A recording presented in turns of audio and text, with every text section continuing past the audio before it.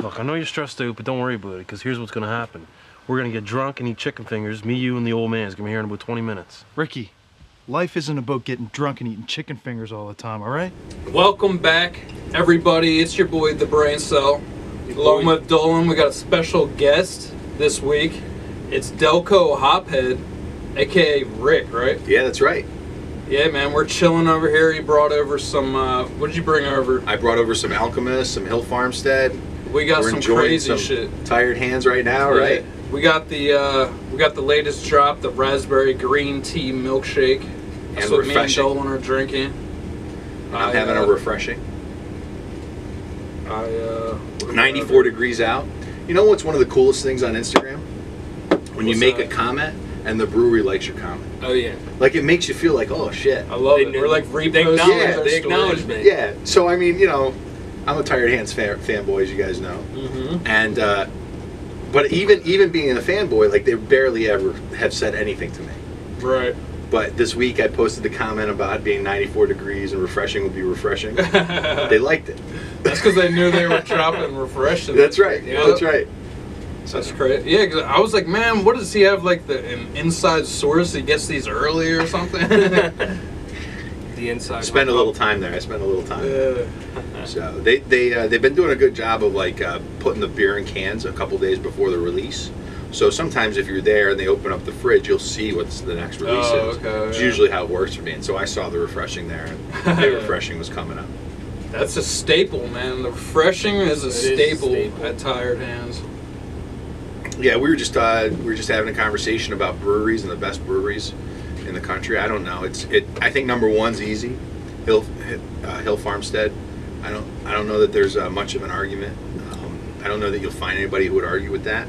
And then I think after that, you know, there's um, there's almost like categories of, of great beer. You know, it's like how do you not consider someone like um, you know uh, like Firestone Walker to be great beer? I mean, I don't know if you guys have tried their beer. I it's think but it's a shelfie, so no one considers it craft beer anymore because they're so big. Yeah. They make incredible beer, and then you know then you've got you know smaller craft beer things like the on the West Coast like Cellar Maker and Moonraker that we've been talking about, Monkish. Um, Tired Hands fits in that. What do you think Treehouse. about uh, Equilibrium? So Equilibrium makes great beer, but I, I was on their I've- website and I was like, man, everything's like wheat beers, and I'm like, Yeah. I don't like that. So they make great beer. They're they're they're super hop. They're super uh, current on hops, so they use a lot of Mosaic and a lot of Citra, a lot of Galaxy, like kind of the current hops. yeah. And then the other thing I think the only, the only reason that like they're I don't know what they do, but their beers are so sweet. All of their beers for me are sweet. Even something that they consider to be super hoppy ends up being too sweet. And so if you have that beer four or five weeks after production, really drops off.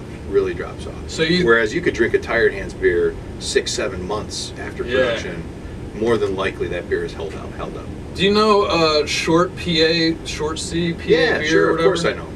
Isn't he the guy that says like he like makes fun of calls us like freshies because we drink them fresh? Yeah. Like he like stores them. Yeah, Tired Hands. He thinks It says like drink fresh on should the be thing. drink, it should be consumed fresh. Like let's take a look at uh, let's take a look at that Hill Farm. I'll give you, I'll give you a for instance. right? Was he saying like it's too loud? So Hill Farm tells you to drink by. So this beer was produced on 9-9, drink by 1021. So like a month and a half. Yeah, but this will That's last. crazy. This will last longer than that. You know, and then I brought over something from the Alchemist for you guys to try. This might be the best beer I've had this year. Okay, I'm so. Skadoosh. This is Skadoosh 33. So they've made 32 other Skadooshes. They, they come out with this beer a few times a year. This is all mosaic, which Okay. is which the Hill Farm's all mosaic. So we can do a little comparison tasting Ooh. right? Um, and The Alchemist, for me, you know, like The Alchemist started in 2003. And that's around the time I moved back to Philadelphia and going up to visit my parents, I would go see The Alchemist and I'd get their beers. Heady Topper was like 100 IBUs and it was just like, it was hard to drink. It was uncomfortable, but yet you felt like you had to do it, you know? Um, and so uh, it was it was really interesting. And then I, I had never been to their new their new place in Stowe, Vermont, so it was cool to go there that day. And I went to get that honey IPA. I don't know if you saw that post I made about the honey IPA. I don't think so. Um, they made this honey IPA that supports uh, solar solar farms. Oh, and wow. uh, so the cool thing about solar farms, besides the fact that they're collecting solar energy, is that they um, they promote um, pollinating insects like Okay. bees and what have you. And so cool. they they um, they bought 110 pounds of honey from a small farm on a s from a small solar farm, and they made this honey beer. And then 27% of the proceeds of each bottle goes back to that honey farm. They're donating to honey. That's 27 percent. That's $3. bees. Three dollars per bottle. Save they're the giving bees. back. So that's pretty cool. Yeah, um, save the bees, man. Yeah. Lord We knows need we bees. need that. they're going. They're going quick. If you like corn, you better save the bees. exactly. So, Amen to that. Cheers to that. cheers to that. Cheers. What do you guys think of that uh, milkshake? It's excellent. I Mhm. like it. It's like look at the color on this, people. It's Oh, like yeah. what is it? Raspberry green tea milkshake. It's excellent. it's it's different. You know what I mean? Like I like when they do different Me shit. too. Not that signature tired Yeah. hands. Like Yeah. Do you uh, think a refreshing- foundation Yeah. You know what I mean? You Yeah. think like No, I love that. every though. brewery has like a base that they use for like all their beers. You, Most of the they time they all do. like pretty Yeah. similar. yeah, that- most that- that most of the time they do. taste, yeah, most of the time they do. As a matter of fact, I just heard today or uh, this weekend that the Answer buys their base from Vale. I don't know if that's true or not. Um, Oh shit! but uh, um, Controversy. most most places have sort of a standardized way of producing beer, and the, and um, you know, I mean, the thing about Tired Hands, and it's not unusual. I think that that's that's the case with all the great brewers, is that they brewed somewhere else first. I mean, Jean, he has a long history of brewing great beer. I mean, Weyerbacher and uh, with Victory, and and he, you know, he. It's not like Oh, he just started he Tired worked for Victory, right? It's not. It's not like yeah. It's not like he just started Tire Hands out of the blue. You know, he was one of the best brewers in this area. And like Shaun Hill at, from Hill Farmstead, you know, he went to school at Haverford College, so that's you know that's his connection to Tired Mhm. Hands. And um, and then he worked in Denmark for one of the great brewers of all time um, before he came back to the United States and opened Hill Farmstead. So. Um, has Hill Farmstead been open for? they're having their 10 year anniversary Okay. next year. Okay. Um, and so it's been nine years open, but his parents, his, his family, not his parents, his family, he's in the eighth generation of Hills. And so if you go back to 1809, his family opened the first tavern in Greensboro, Vermont. So they've been brewers their whole lives. And the cool, one of the cool, unique things about Hill Farm is that all their beers are named after family members. So like they have Arthur and Anna and Florence and Esther, and so their their beers are named after family members, and they and they, they give a little story of why they named that beer that That's way. awesome. So I love pretty it. I love it. Yeah, I love that. We're gonna uh, take a little break and we'll be right back. I gotta reset the camera. This is a good conversation, man. Cheers. What's up, everybody? We're back. Yeah, yeah. We're cracking up, and what's it called? This is uh, Hill Farmstead Society in Solitude number six. It is a uh, Mosaic Imperial IPA, which means it's going to be uh, somewhere about eight eight point four percent. Greensboro, Vermont. It's correct. This is the best brewery in the Mind world. You're smell saying. It, it- you know, I, well, I'm going to say the best brewery in America. It, it, it would be more. There'd be more arguments that are strong arguments that uh, for other breweries, but um, you know, You think? for- well, yeah, in in Bellevue, yeah, there, there are there are some really great brewers. And, I mean, I don't I don't really care for their beer that much, but Well, you're so, talking about like German. I'm just talking about like my personal, yeah. you know, my personal opinion. We're we're Hayes boys. Or we're Hayes Bros. Me oh. and Dolan are Hayes Bros. Cheers. Cheers, guys. We're all Hayes Bros. Wow. Wow. Smooth. Very, very smooth. But really hoppy. And hoppy. yep. Reminds me of That's very good. My bad. reminds me of like a beer I've had before. Get You ever have like this. Melvin? Melvin? Mm-hmm. I have. Kind of tastes like that, but like Way way, more like intense. way more um way more like Clean. better ingredients and clean. Yeah, yeah, better ingredients and clean. Yeah. So I mean, I think that that's one of the reasons that that, that, Oh. that this beer is so good. It's so smooth too. I, I'm like is think about where this water's It's coming not- from. I mean, this is like you're not going to get doesn't it pure doesn't, water It doesn't taste too the carbonated. middle like of nowhere, northern Vermont. I don't know if you agree with me on that.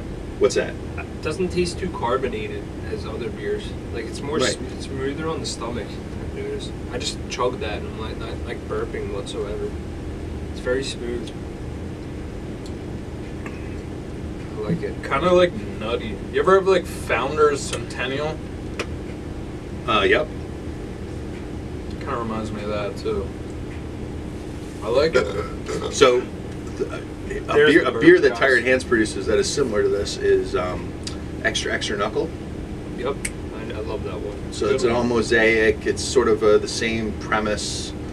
I can't- it's it's it's foundation. The the difference. The, one of the big differences I think is in the in, in the malt and the combination and the and the, the mixture of their um, uh, what they're tr- with their uh, grist and what they're doing. I think for is is completely different. Um, so Yeah. No, I feel you on that though. I agree, hundred percent. This beer, can we do a rating on this beer? You guys want to? no, do you guys. Yeah, we you forgot guys. to do already, I. I did a reading on this I beer know, last you're night. right. You're right. You're right. I did a rating on this You beer don't want to do a. What was it? Nine point two. Wow. Wow. I'm going. I'm going straight eight seven on this. I was gonna say 8.8. Or So- eight eight. Yeah. Really? Eight, I'm going. Yeah, eight eight. Huh? It's Yeah, kind eight, of different for me because I'm used to like the more like But this beer is juicier This ones. is this beer. This is dry. You're absolutely. That's absolutely what I'm right. saying. This is a great dry beer, natural beer. Like this is the hazy milkshake IPAs. They're more so. They're more like they're juiced up with lactose and all these. Not necessarily. Not all of them. Not all of them. Yeah, you're right. But like they have all like different. Like they have strawberry puree, Madagascar. Well, vanilla the, the milkshakes. Yeah, exactly. Right. So, but this beer is just like perfect for just the straight mosaic. I can't I don't know natural. can't tell the difference between the hops. Really? I have to get more experience. Yeah, I'm not 'Cause they gonna- always Oh, you know mix what? too So- many in one. You have to I can understand get that. the That's- single yeah. one so you can be like, all right, Th- this that's is what the key with doing the single. like. And so, and they and they do a lot of. So they also have a lineup of uh, beers that they do that are focused on just hops. So I, at home, I also have a double Riwaka, which is a, a particular hop. They've done Citra and Galaxy. They've done them all, and they usually do a single and a double in each Mm-hmm. style hop. And I think that that absolutely drinking them will help train your palate on what these different hops taste like. Other, why other brewers do it. that's La why- does a great Yeah. single hop series. I just had the. Uh, have you seen this man from La Cabra? Yes, it, they make good beer. They It was good. it was kind of like it wasn't a juicy one. It was like a bitter one. Okay. I mean? It was decent, but I'm just not used to that. I'm used Right. to like milkshakes. And Sweet. I'm spoiled, man. I, I've So been have you have you ever had have you had some Trilliums and uh, No, I, No. I never had. I want Um, to try them. or uh, other half? I had other half once. I had it no twice. So I had trillium, trillium and other half. You guys should seek those out. You know, like three go- times actually. If you if you if you're on um like I mean you you could you could probably get those pretty easy. Just people at Tired Hands. They go to Tired Hands. They they have they have a lot We're on this half. Facebook group where this guy goes around getting Treehouse, Trillium, other half. Talk louder so the camera can. hear. Yeah, Sorry. I know this guy that goes around on Facebook group that gets uh, Treehouse, Equilibrium, other half, all those beers. Flips them for like thirty a four pack, or you can do mix and matches for like. Yeah, I, I mean you could do that, but you can also just trade beer, I guess. I mean, you know, Yeah. I've like- been like kind of shaded out trade. about trading beer because everyone I talk to, they want me to get them all this shit, and like, like I get them the beer here, and then they get me the beer, and we just trade straight up, no Yeah. money involved. Right. That's how it's done. yeah, Yeah, I'm, I was kind of shaded out about like shipping it because like it's gonna be warm.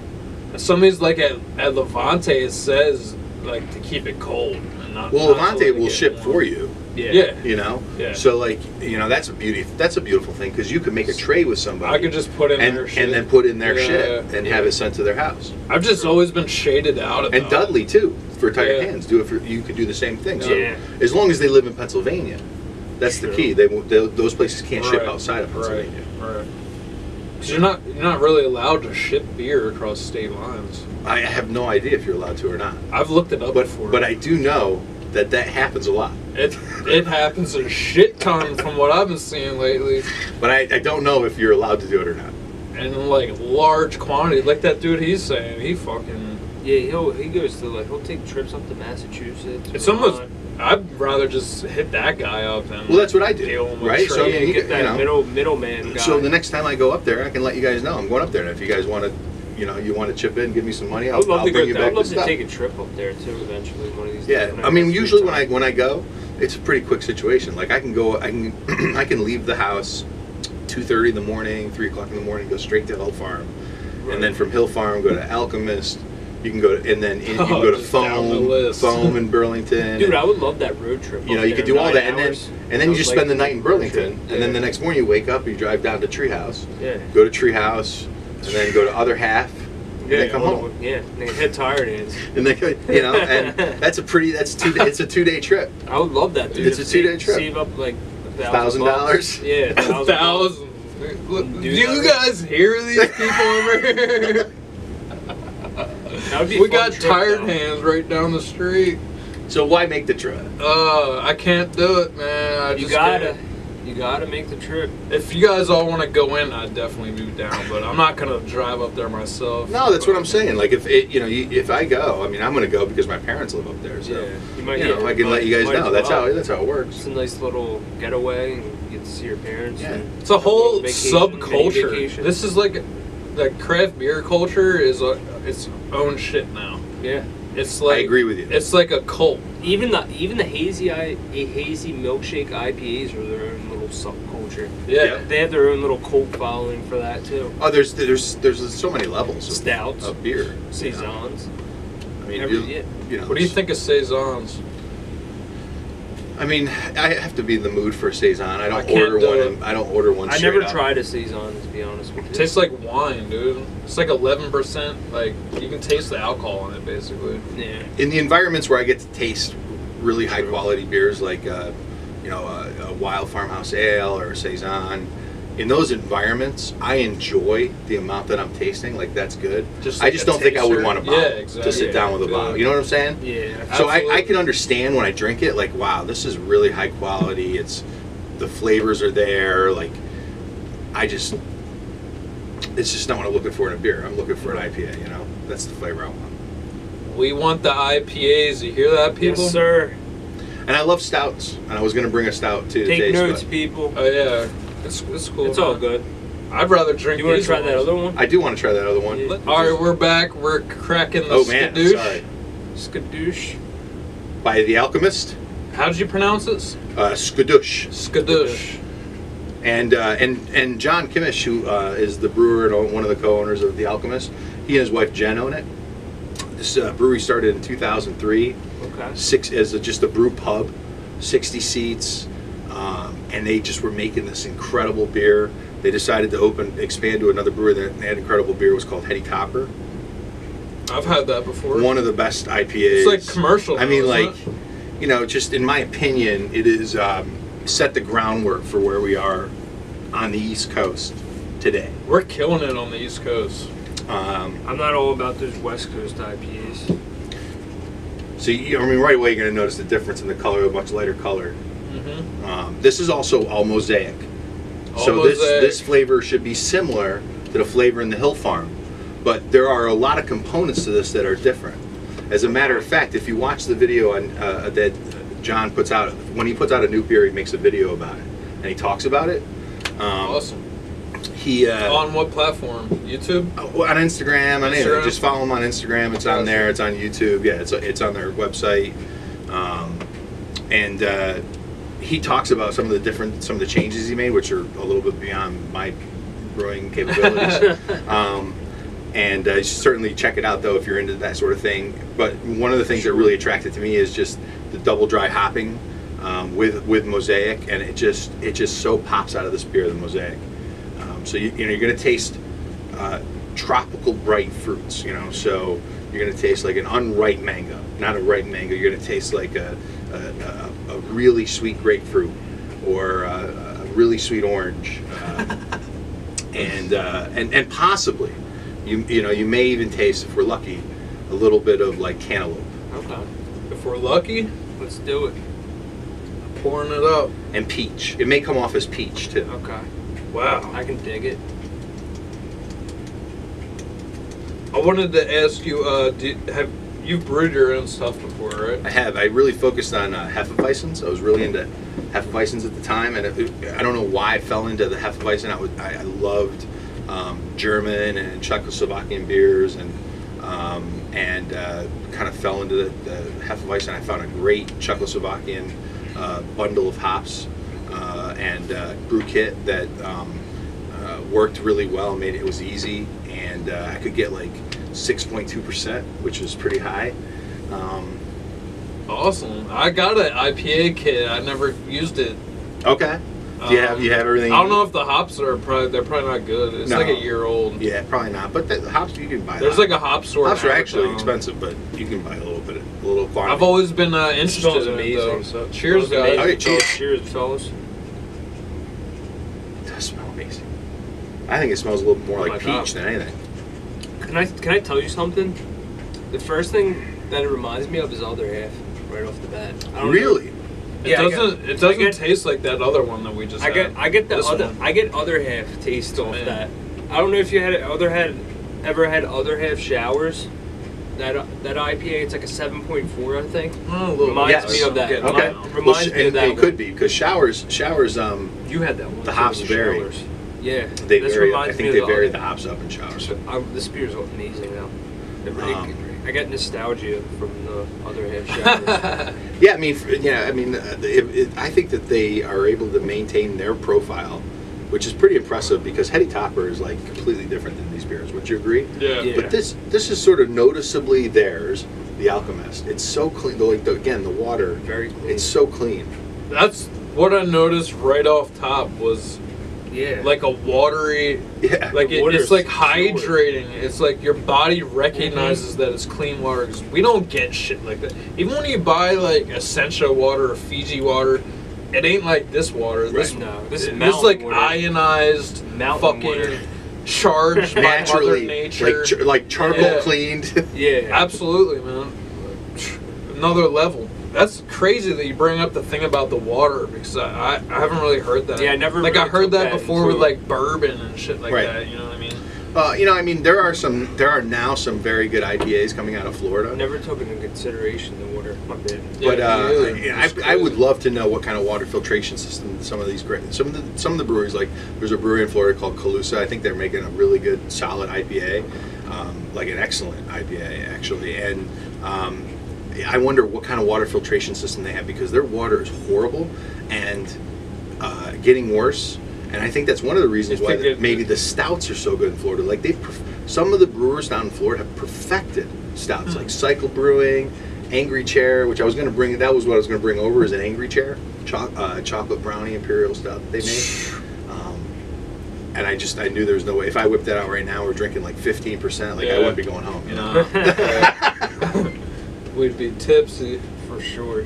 So we'll have That's to do that one crazy, another though. time. Yeah, for sure. Do you think it's like reverse osmosis that they use, or do you think it's like natural water where it's In charged Florida? with In mineral? Florida? In Florida, I'm thinking reverse I don't know. What, osmosis. I don't. You know. I mean, I, I'm, I'm I'm exaggerating the problems in Florida. The problem in Florida is that every Florida is, is sits on a giant aquifer, which is like a sponge, Yeah. and the sponge is drying out.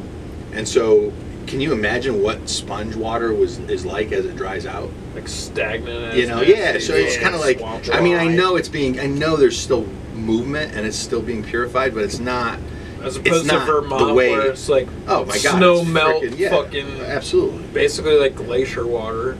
Absolutely. spring best natural spring water? you Yeah, I mean, you know. Yeah. That's crazy. That's a good point though about the water, man. Yeah, I never thought took that about into And like consideration. pH. Well, have you ever had shit. have you ever had some of the brewers from Asheville, North Carolina? no. Like, uh, so Asheville, Uh, North Carolina. If you guys want to make a trip, man, that's the trip. You're talking the highest mountain east of the Mississippi River is in Asheville, North Carolina, Mount Mitchell. Okay. Yeah, yeah. Seventy-two like- over seventy-two hundred Yep. feet. You can go up there. You can drive all the way to the top. So you get, you know, you can be on top of the United States, on the eastern part of the United States, and then a short fifteen-minute drive into Asheville, and you can park your car and go to like seven breweries on your feet. Oh my god. There's like 12, 13 great breweries in Is Asheville. that like a nine Wicked Weed, uh, Wicked Weed, incredible. Burial, incredible. Green Man, incredible. Twin Weed. Leaf, incredible. Uh, Wedge, incredible. Like these brew. I I mean, it's just a great weekend, man. Like like What that's they, the what do they specialize in? Those breweries. So, I mean, Green Man is sort of the first one. It's more of a West Coast style IPA, that Okay, they- like but the they do everything. high- the they do everything. They do the high lagers and IBUs and pilsners. but Wicked Weed, Wicked I Weed is per- pernicious wicked weed. yeah. So Wicked Weed has won a bunch of Pretty awards. good for a Pernicious is freaking incredible. And they now they make a tr- uh, triple that is called uh, some. It's a play off of Pernicious, and and it's amazing. It won a bunch of awards this year too. So I mean, they're they're playing at a high level. Wicked Weed. Uh, Burial is a smaller craft. They haven't expanded as much, but they make super high I quality like beer. smaller. They're sort of kind of keep it. They're, well, they're and it's their choice. You know, like they could go as much They- as they yeah, want. they you know, they make great beer. Burial. But they, Um, if they did it, it, the quality suffers. Don't you think? The bigger a brewery gets, No, I don't. I mean, it doesn't have to. once you're on the commercial level, it, It, it doesn't have to. What has to happen is that there has to be continuous improvement. That's all that has to happen. I mean, Treehouse right now is a great example of this. it's When Tree- competitive now. when Treehouse moved, when Treehouse moved from their small brewery to their current brewery, It's huge, isn't it? it was it was it was such a massive change in the level of production that it's not just math. It's not like you could say, okay, I used four liters back there, so I'm now I'm just going to use 32 liters because I'm eight times bigger. Yeah. Like it's not that No. it doesn't work that way. And so there's a level, a period of adjustment. Now some customers give up during that period of adjustment. They're like, oh, these guys aren't going to figure it out, and they and they kind of move on to the next guy because there's so much competition. Yeah. and then other places make the adjustment faster and they're able to kind of continue to continue to grow to the next level. But that adjustment is going to continue as they continue to grow. That adjustment's going to happen. Whether now like trillium what they're kind of doing it a different way. So trillium is growing by just opening more breweries which is the way firestone walker did it you know open a brewery that's a Levante just restaurant. opened one in Delaware. Yeah, so that's a, you know that's a different way to grow and allows you to produce more beer, grow your business. They, they still make the beer in each brewery, though, right? Uh, it depends. it Some of them don't do it that way, and some of them do do it that way. Um, and so Trillium brews at both breweries, but one is much much more one's bigger. One of the breweries is bigger, so they make much more of their beer there. Right. Um, and so, but Trillium is a beer I think you guys would like. It's a little bit sweeter than like what we just had here. You know, I think it's a little bit more in the profile that you guys would really like. They make a high like the quality beer. milkshakes. They use high quality products. Um, you know, Trillium's They're definitely in knocking it out of the Boston, park. They have uh, so they're they're they have one close to Boston. I can't remember. It's Canton and like can't remember the other. Rating? I can't get over how refreshing. You want to do a was. rating for I would this? s- I would say That was refreshing. Can I do my? I'll do yes. my- Go for it. I'm giving this a 9.2. All right. 9.2? Mm-hmm. That's what I'm at. folks. It's very refreshing, hydrating. Man. If if this wasn't fucking beer and just water, it'd probably be like a 10. Let me just say that. but I'm gonna give this. What'd you give it? 9.2? I think it's like a 9.3, man. Honestly. Wow. There you go. That's what I gave it a nine point three. It's not. It's not. Like.